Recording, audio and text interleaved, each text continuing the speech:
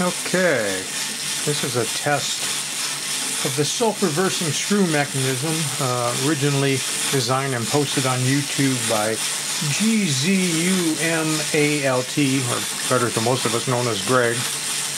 Um, he did a, I asked him if this could be used for a linear shuffle walking robot, so he actually put a video up, and I'll put a link to that down below of him using his. Uses the N20 small motor. And I'm uh, wanted to get a little more power out of it, so I redesigned the frame and redesigned these followers with longer posts so that I could use a, a TT blue gear motor, that's the 90 to 1 gear ratio. And since he's already done the linear shuffle working, I'm kind of thinking maybe mounting this thing more vertical and uh, doing a more regular ratchet walking leg mechanism. We're going to see how that goes.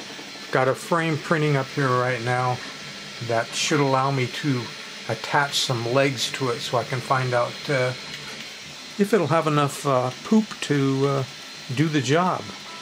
But uh, it's not the most efficient way to, to do any of these walking things. Um, due to frictions and limitation and things like that.